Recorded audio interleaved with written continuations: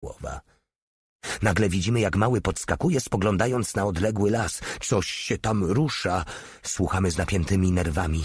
Nic, pomyłka, stwierdza Porta, ale jednak gasi ognisko. Mówię ci, że coś jest w łodniku do cholery. Trzask. Niezwykłe uszy małego nie zawiodły go i już leży na śniegu z pistoletem maszynowym gotowym do strzału. Wytężając wszystkie zmysły, wpatrujemy się w noc. Znów trzasnęła gałązka podszycia. Koniec wątpliwości. Ktoś się kieruje w naszą stronę i są to z pewnością ludzie. Zwierzęta hałasują tylko raz, to wiemy, znamy tę pustynię z jej zwyczajami i odgłosami. My też staliśmy się zwierzętami. Tamci są jeszcze bardzo daleko, ale w absolutnie cichym lesie najmniejszy odgłos dociera nocą na ogromne odległości. Ruscy! Słowo podawane jest szeptem od dziury do dziury i wystarczy, by natychmiast zapomnieć o dysenterii i wyczerpaniu. Wszystko tylko nie wpaść żywcem w ręce NKWD. Widzieliśmy aż nazbyt dużo trupów torturowanych, by oczekiwać ludzkiego zachowania od ludzi w czapkach z malinowym otokiem. Hałas jest wyraźniejszy. To z pewnością są Sybiracy z NKWD, uzbrojeni w pepesze i długie nachajki przyczepione do nadgarstków. Musieli widzieć nasze tropy w śniegu, a my wiemy, że ci żołnierze z dalekiej Syberii nigdy nie porzucają tropu. Urodzili się do polowania na ludzi. Słyszymy głosy, ochrypłe rosyjskie głosy. Giermańcy, joab twoją mać! Uciekajmy, szepcze mały wstając. Nienawidzę NKWD. Za późno, mówi legionista chwytając go. Ci potępieńcy będą szli naszym tropem na koniec świata. To oni albo my, nie ma wyboru. Znam to od czasów rifu, ci przeklęci berberowie wszędzie na nas czyhali. Pewnego razu czekali na nas wzdłuż nowej szosy Casablanca-Marrakesz, za kępami trawy i wybili całą kompanię. Uratowało się nas tylko czterech. Grupa białych widm przesuwa się bezgłośnie po podszyciu na nartach. Pod białymi maskami domyślamy się czarnych oczu śledzących nas przez szpary. Strach ściska mnie za gardło i tylko pruska dyscyplina zabrania mi strzelać i kosić te widma. Grupę prowadzi wysoka postać z nachajką u nadgarstka.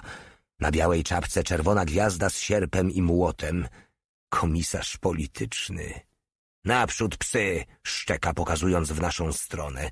Kurwa mać, mruczy mały odbezpieczając granat. Dawaj, dawaj, wrzeszczy bez przerwy komisarz, poganiając swych zakłopotanych zwiadowców. Teraz narty skrzypią na twardym śniegu. Ludziom podobnym do demonów błyszczą tylko oczy. Legionista, czując mój niepokój, ściska mi dłoń. Na szczęście zamieniłem mój stary LKM na najnowszy model, niedawno zrzucony nam na spadochronie. Strzał karabinowy rozdziera ciszę. Komisarz chwyta się za pierś i pada. To jeden z naszych stracił głowę i wystrzelił, ale przynajmniej skutecznie. Przenikliwy gwizdek generała, huk gromu, dywan ognia toczy się po równinie. Z młodnika słychać pistolety maszynowe, a kora z drzew dolatuje aż do nas, ale widma znikły. Na śniegu leży sześć białych trupów, które śnieg już przykrywa lekkimi płatkami. Żadnego dźwięku. Nikt nie będzie wątpił, że ci tropiciele pozabijali się wzajemnie podczas tropienia. Hauptfeldwebel Bayer, szepcze Oberleutnant, zbadajcie las z waszą drużyną, będziemy was osłaniać. Trzeba zajść od tyłu NKWdzistów, by ich zniszczyć do ostatniego, żadnych jeńców. Rozkaz generała. Zawsze my, mruczy Porta. Dlaczego tylko my mamy osłaniać odwrót Adolfa? Można uwierzyć, że wojna byłaby przegrana, gdyby nas tu nie było. Jak zwykle masz rację, bracie, potwierdza legionista, biorąc swój nóż w zęby. Bądźcie cicho i szukajcie wszystkiego, co się rusza. Gromi nas stary za naszych pleców. Tymczasem przeszliśmy przez cały las, nie spotkawszy Rosjan. Są tam w środku, Mówi mały, wskazując gęsty zagajnik. Właśnie usłyszałem, jak jeden ruski pierdzi. Zachodzimy od tyłu Rosjan, którzy całą uwagę skupiają na naszej dawnej pozycji. Bez dźwięku zakładam bagnet na broń. Porta pierwszy wskakuje do zagajnika i ciosem łopatki odcina głowę wartownikowi. Allahech Akbar! ryczy legionista nacierając. Niech żyje śmierć! Zdumienie paraliżuje NKWdzistów, nie spodziewających się, że śmierć zajdzie ich od tyłu. Zabijamy bez litości. Legionista chwyta dwóch jeńców, którzy podnieśli ręce. Skośne oczy w szerokich twarzach błagają. Przykro mi, to wojna. i dwa ciała padają z przebitymi piersiami. Mały nie posiada się z radości, bo przywłaszczył sobie dziewięć nowych złotych zębów. Potrząsa swym skórzanym woreczkiem pod nosem bardzo rozzłoszczonego porty. Nikt nie lubi, gdy uczeń go przewyższy. Woreczek znika w tajnej kieszeni munduru olbrzyma i biada temu, kto próbowałby go szukać. Na horyzoncie pojawia się dzień jak cienka nić szarości za lasem, który teraz wygląda jak czarna ściana, groźna i mściwa. Słońce wstaje i ogarnia śnieżną pustynię. Tarcza koloru krwi wznosi się na niepokalanej przestrzeni, niebo rozjaśnia się, zmienia w błyszczący błękit i jest tak pięknie, że się na chwilę zatrzymujemy. Coś wspaniałego. Fletporty śpiewa pozdrowienia dla słońca, kryształowy dywan świeci wszystkimi kolorami ognia, ale niestety oczy tak mnie bolą, jakby szpiczaste ostrza przebijały czaszkę i ogarnia mnie przestrach przed takim pięknem, gdy widzę, jak ta biel zmienia mi się w szarą watę, szare koła tańczą przed siatkówką. Czy oślepnę? Rozcieranie oczu rękawicami tylko powiększa ból. Przejęty współczuciem stary otacza mi barki ramionami. Jego też śnieg o mało nie oślepił i wie, jak cierpię. Jeden z naszych kowali umiera po południu. Należał do pierwszej dywizji kawalerii, ale wszystkie jej piękne konie zostały zabite i zjedzone po tym, jak dywizje zmiażdżyły T-34. Dziś ostatni z ocalonych umiera na śniegu i wiemy, że ma specjalne okulary – ale ileż czasu zajmuje mu umieranie? Zabij go, proponuje mały, to będzie koniec. Prawie się na to decydujemy, ale on wydaje ostatnie tchnienie i bez najmniejszych skrupułów chwytam jego okulary. Jakież szczęście! Te tak rzadkie okulary przeciwśnieżne, tylko Rosjanie mają tego rodzaju szkła dostarczane przez Amerykanów, bo od wiosny 1942 wymienili całe swe stare wyposażenie na pierwszorzędne, przysłane prosto z USA. Czuję się tak, jakbym dostał nowe oczy i szybko podążam do lekarza, by wpisał mi te okulary do mojej książeczki wojskowej, bo jeśli nie, niestety mógłbym mieć kłopoty. Nie ośmielę się, protestuje lekarz. Trzeba odbyć badanie lekarskie, by posiadać specjalne okulary. Ależ chyba pan zwariował, krzyczy oberleutnant. Człowiek jest prawie ślepy, każdy to widzi. Tak, ale przepisy, jąka się lekarz. Trzeba trzymać się przepisów. Boże, wrzeszczy wściekły oberleutnant. Zmiłuj się nad tymi kretynami Niemcami. Nie potrafią żyć bez przepisu. Ludzie tacy jak pan, wierni Bryningowi, pracowali także dla Eberta, wiwatowali na cześć Hindenburga, a dziś liżą dupę Hitlera, czekając na Stalina. Bo potrzeba przepisów. Lekarz cofnął się przerażony i spojrzał na oberleutnanta wielkimi, niebieskimi, naiwnymi oczami. Niech pan uważa na to, co mówi. Gdyby generał pana usłyszał, zamknij pysk! Ryknął oberleutnant, trzęsąc się ze złości. Nikt nie ośmieli się powiedzieć, co myśli, póki czeski frajter tu jest. Mój ojciec był rotmistrzem gwardii w 1916, śmiesznym ze swą blachą łana na czaszce, ale nikt nie śmiał mu tego powiedzieć. Dziś jest w Ministerstwie Propagandy i nikt nie śmie mu rzec, że służy Adolfowi. Dobrzy Niemcy nie służą partii, prawda? Służą Rzeszy Niemieckiej ale na szczęście mają nazistowskie przepisy. Jeśli kamień spadnie na dzban, biada dzbanowi. Jeśli dzban spadnie na kamień, biada dzbanowi. Zawsze biada dzbanowi. Talmud. Rozkaz dzienny do wszystkich dywizji wydany przez dowódcę szóstej armii general obersta Frydrysia Paulusa Kwatera Główna Armii 25 listopad 1942 Dowódca szóstej Armii Jako żołnierz oświadczam, że dać się wziąć do niewoli jest utratą honoru. Wobec tego obowiązkiem oficera jest popełnić samobójstwo, gdy tylko stwierdzi, że jego pozycja została zajęta przez siły nieprzyjacielskie, nie posiadając jakichkolwiek środków dla kontynuowania walki. Jeśli da się wziąć żywcem, nie jest już godny noszenia munduru oficerskiego. Może być uważany jedynie za dezertera i musi oczekiwać postawienia przed sądem honorowym po zakończeniu działań wojennych. Odnosi się to również do podoficerów i szeregowych. Poddanie się to tchórzostwo. Nasz najwyższy dowódca, Adolf Hitler, wymaga od swych oficerów, podoficerów i szeregowych szóstej armii, że będą walczyli jak wagnerowscy bohaterowie w fortecy stalingradzkiej. Ci, którzy pójdą do niewoli, zostaną wykreśleni z szeregów wojska. Heil Hitler. Paulus, dowódca armii. Tego samego dnia czterech wysokich oficerów opuściło fortecę stalingradzką. Generał saperów, Janeckę, dowodzący czwartym korpusem armijnym, został ewakuowany samolotem jako ranny. Został uderzony w głowę belką i błogosławił swój ogromny guz. Generał Pickard i generał Hube odlecieli na rozkaz oddziału personalnego. Generał major Berger odleciał bez rozkazu.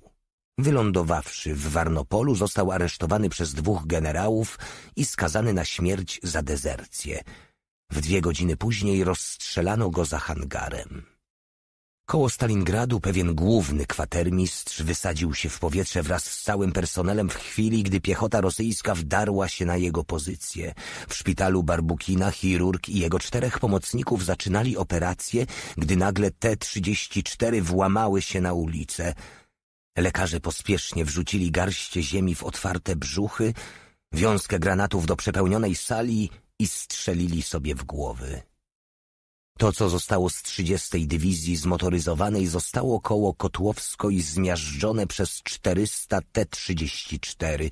W ostatniej sekundzie uratował się pewien oberleutnant i pięciu żołnierzy. W godzinę później zostali schwytani przez patrol żandarmerii i całą szóstkę rozstrzelano za sabotowanie rozkazów. Opuścili pozycję Kotłowskaja bez rozkazu. Rozdział czternasty Więźniowie NKWD Nowa burza nadlatująca z głębin Syberii uderzyła jak maczuga tak mocno, że cisnęła nas na ziemię. Huragan śniegowy, jakiego jeszcze nigdyśmy nie widzieli. Było tak zimno, że łzy płynące nam po twarzach natychmiast zamarzały.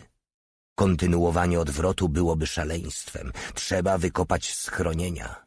Przez cztery dni burza pchała przed sobą śnieg olbrzymimi zaspami, ale w rzadkich chwilach, gdy przycichała, panowała taka cisza, że najlżejszy brzęk stali powodował, że trzęśliśmy się z przerażenia i czuliśmy, jak ogarnia nas szaleństwo. Potem znów wybuchła burza z jeszcze większą wściekłością.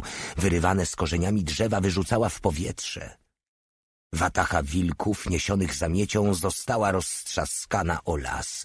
Jeszcze przez dwa dni trwał ten huragan z piekła rodem, później burza zaczęła powoli cichnąć.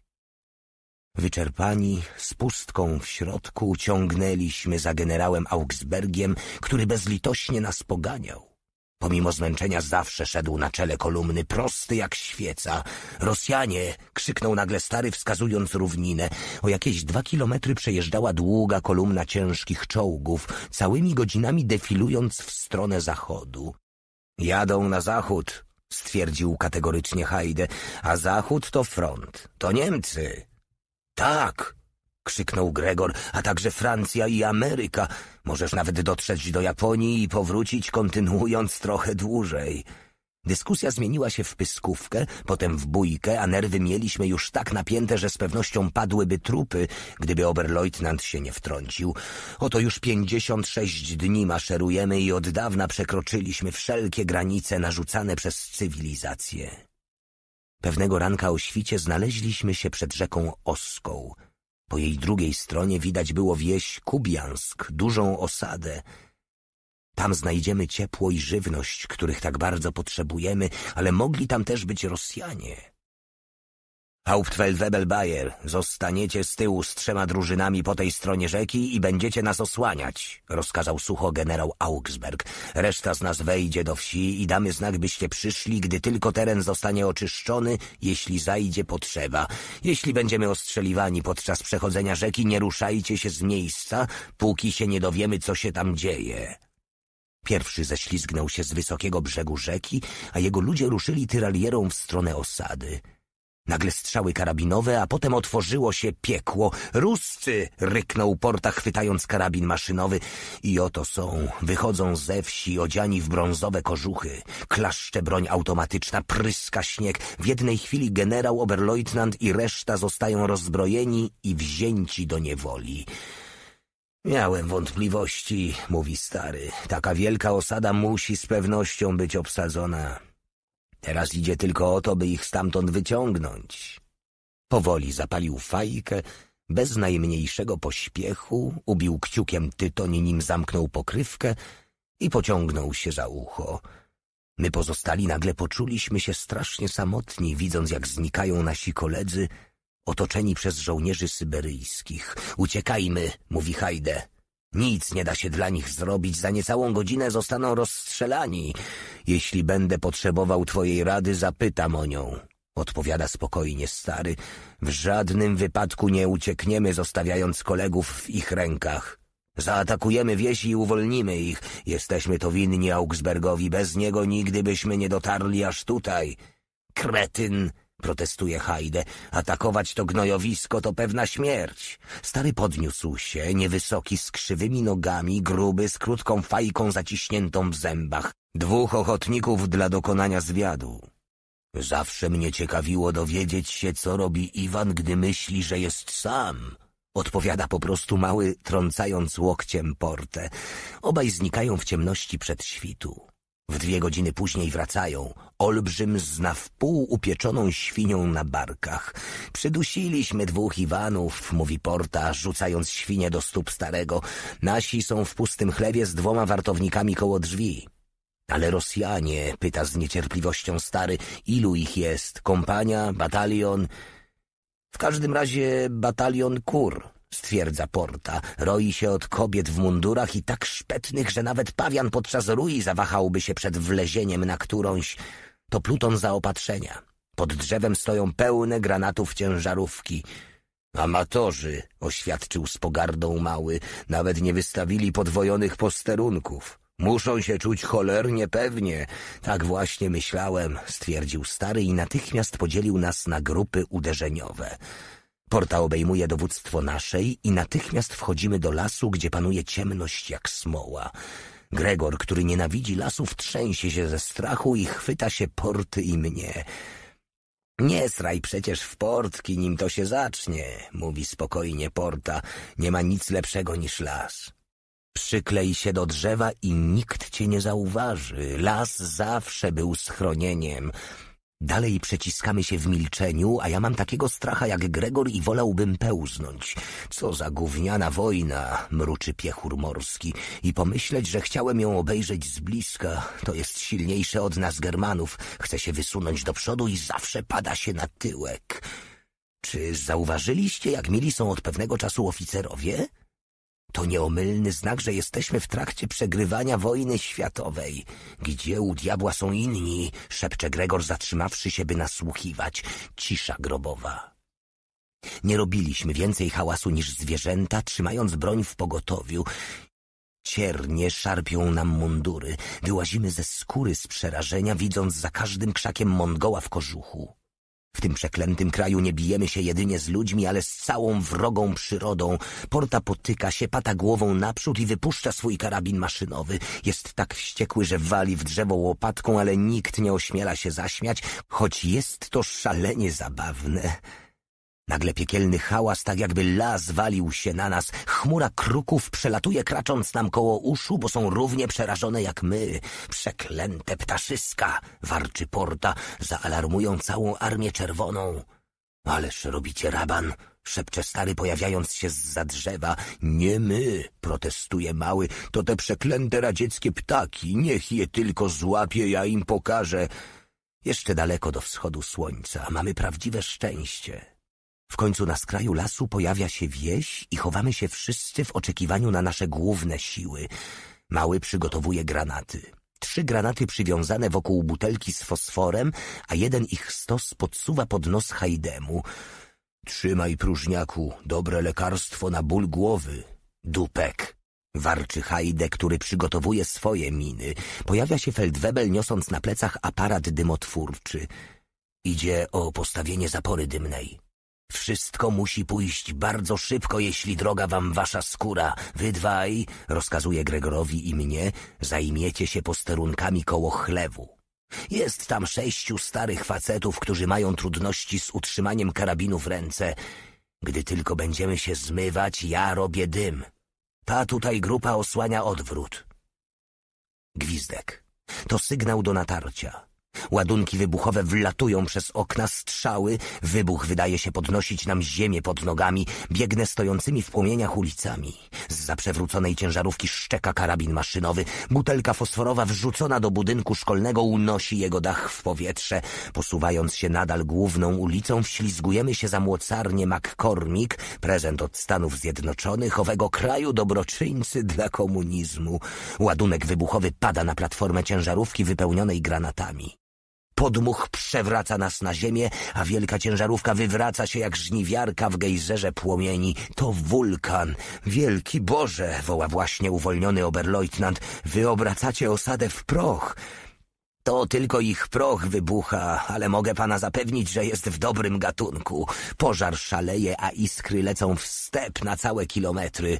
Raport komenderuje Augsberg z twarzą pokrytą oparzeniami. Mieliśmy czternastu zabitych i dziewięciu rannych, z których niestety musieliśmy porzucić siedmiu, którzy i tak zmarliby podczas marszu. Po czym generał zaczął nas niecierpliwie popędzać.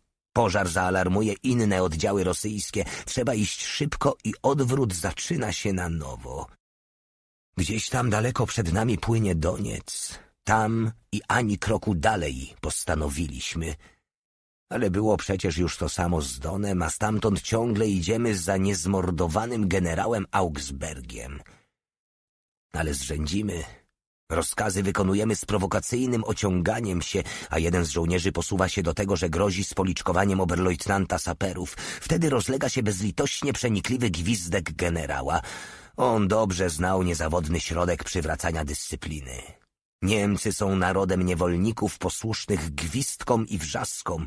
Każdy Niemiec posiadający jakąkolwiek władzę nosi gwizdek, mały srebrny gwizdek na końcu szarego sznureczka. Trochę sznureczka musi wystawać z górnej kieszeni, abyśmy dzięki temu znakowi rozpoznawali przełożonego. Gwizdek zdolny jest wyciągnąć całą armię z wygodnego, ciepłego łóżka. Wysyłał całe pokolenia na śmierć. Nie istnieje taki Niemiec, który nie byłby posłuszny gwizdkowi, aż od przedszkola, gdzie polecenia wydawane są gwizdkiem. Ćwiczenia wojskowe wykonuje się na gwizdek, ruch uliczny reguluje gwizdek policjanta i bez gwizdka Niemcy są zgubione. Zwycięzcy mogli odebrać Niemcom ich mundury, broń.